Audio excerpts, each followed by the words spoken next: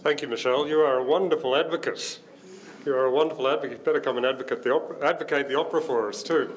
Um, we're very proud of this association. It is kind of self-evident. Opera Australia, which is your national opera company, uh, has supported a number of charities uh, over its 56 years of existence, and we're always being requested to support more, and we're proud to do it.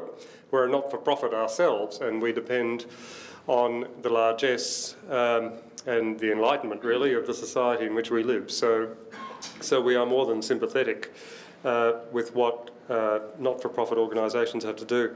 But we chose, um, in a very considered way, this partnership with asthma because, as Michelle said, um, singing is all about the breath. And there are a number of um, singers, as I suppose there are athletes and swimmers, who came uh, to discover their voice because they were dealing with an asthmatic condition of varying, varying degrees of severity. And, and there have been wonderful examples uh, of it in the opera company. So it's actually, um, it's an association that is, that is um, highly respected by our artists themselves, which is a nice thing to do. But I also think the idea of two not-for-profits in very different areas working together for mutual benefit is, is a very positive thing for our society. And when I look at the work that not-for-profits and charities do uh, in our hopefully civilised society, they just provide the glue, I think, uh, that binds people together. So we have come to appreciate um, the work of, of the foundation a lot over the past eight years increasingly and become increasingly proud of this association. So thank you. Thank you for your partnership.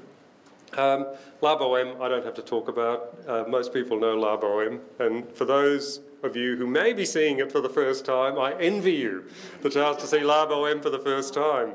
Uh, it's a very important opera to a repertory opera company. We, we put on about 21 productions a year between Sydney and uh, Melbourne, and next year we go to Brisbane. Uh, we also do regional tours and all that, but but so we give about 260 performances a year. But La Boheme is one of those five or six absolute touchstone operas which are at the core of any repertory opera company. So it's very important that you not only have La Boheme, but that you have a beautiful and successful La Boheme.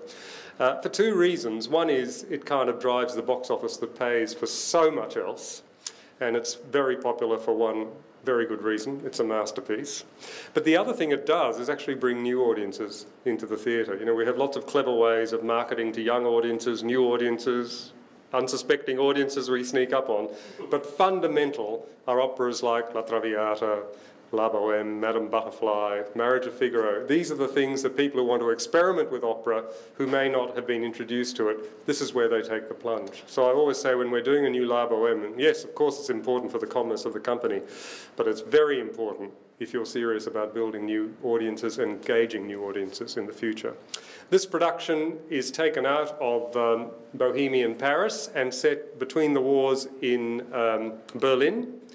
Uh, and I think it is a very, very uh, clever and thoughtful um, repositioning of the opera. It allows all the beauty and slight decadence that you need for La Boheme, which is a hugely romantic story, but it is a society where someone like Mimi can have TB and most people won't notice, won't lend a hand, won't do what the Asthma Foundation does.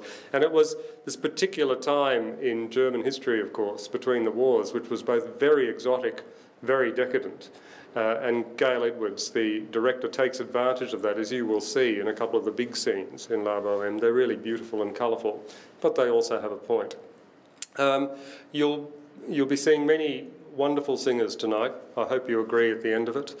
Uh, particularly Takesha Meshé Kizart, who is singing uh, the role of Mimi. The last Boheme she did was a month ago at the Met. Uh, we thought she was a great one of our best kept secrets. She came and did Tosca for us about two or three years ago. Uh, she hails from Chicago in the United States. Uh, and we've actually asked her to come back two or three times over the next three or four years. So if you like her, you'll be seeing a lot more of her. But of course, since then, the world has discovered her. She's made her Metropolitan debut. She's going to Covent Garden.